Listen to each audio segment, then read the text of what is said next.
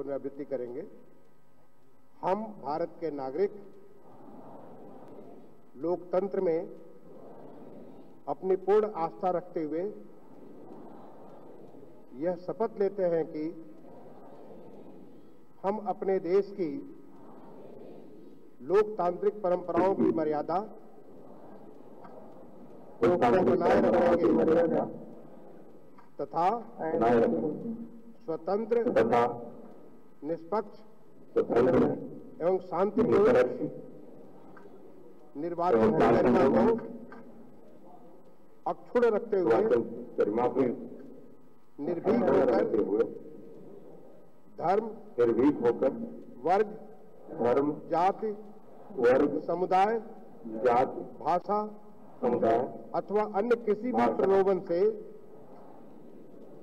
प्रभावित हुए बिना से सभी निर्वाचनों में अपने मताधिकार का प्रयोग करेंगे।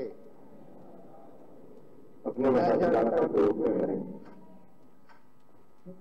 आइए।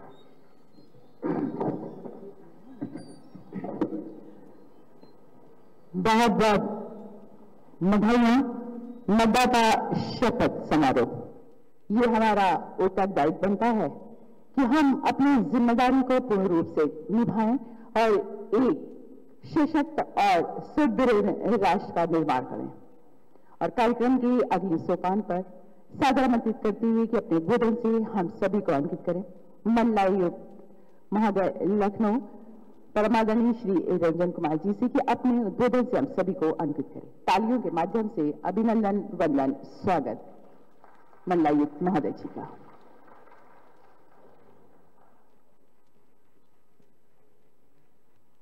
आदरणीय राज्यपाल महोदय, आदरणीय मुख्य सचिव महोदय, मुख्य निर्वाचन अधिकारी, जिलाधिकारी लखनऊ। आज बारहवें राष्ट्रीय मतदाता दिवस के अवसर पर मैं आप सबको बधाई देता हूँ।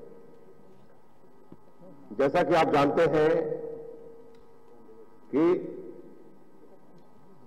इलेक्शन प्रोसेस में, इलेक्शन कमीशन ऑफ़ इंडिया का महत्वपूर्ण भूमिका है। 25 जनवरी 1950 को इलेक्शन कमीशन ऑफ़ इंडिया की स्थापना की गई। 25 जनवरी को राष्ट्रीय मतदाता दिवस के रूप में ये चुना गया और 2011 से निरंतर प्रत्येक वर्ष राष्ट्रीय मतदाता दिवस 25 जनवरी को मनाया जा रहा है।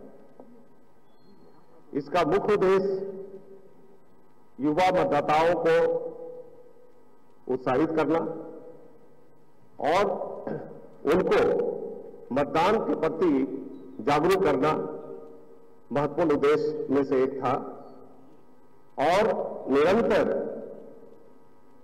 जिला निर्वाचन अधिकारी और सभी निर्वाचन से जुड़े अधिकारी, कर्मचारी और विभिन्न संस्थाएँ और हमारे समाज के सभी वर्ग के लोगों में उत्साह दिखा और इसका परिणाम आज हम लोग को देखने को मिल रहा है कि मतदान के प्रति सबकी रुचि बढ़ी है। भारत निर्वाचन आयोग के निर्देशन में प्रदेश के अधिकारियों एवं कर्मचारियों ने वर्ष 2011 से राष्ट्रीय मतदाता दिवस के माध्यम से प्रत्येक मतदाता को उसके अधिकारों और जिम्मेदारियों के प्रति जागरूक करने का सराहनीय कार्य किया है। गत वर्षों में मतदाताओं को उनके अधिकारों और जिम्मेदारियों के प्रति जागरूक करने की दिशा में भारत निर्वाचन आयोग की ओर से सक्रिय प्रयास किए गए हैं, जिसके सुखद परिणाम भी अब परिलक्षित होने लगे जैसा कि मुख्य निर्वाचन अधिकारी ने बताया कि 11 पॉइंट हमारे जेंडर रेशियो में मतदाताओं में बढ़ा है। साथ ही कुल मतदाताओं की संख्या भी काफ़ी बड़ी है। ये दिखाता है कि युवा मतदाता अब हमारे मतदाता वोटर लिस्ट में ज़्यादा से ज़्यादा संख्या में उनका नाम आ रहा है। यह परिणाम जागरूकता हमारे जिला निर्वाचन अधिकारी स्तर पे जो स्वीप प्रोग्राम चलाए जा रहे हैं और वो प्रत्येक थीम पे, प्रत्येक वर्गों में अलग अलग तरीके से स्वीप प्रोग्राम कराए जा रहे हैं, जिसके परिणाम स्वरूप वोटर लिस्ट में फीमेल वोटर्स और यंग वोटर्स जो पहली बार वोट देते हैं, उनकी संख्या बड़ी है।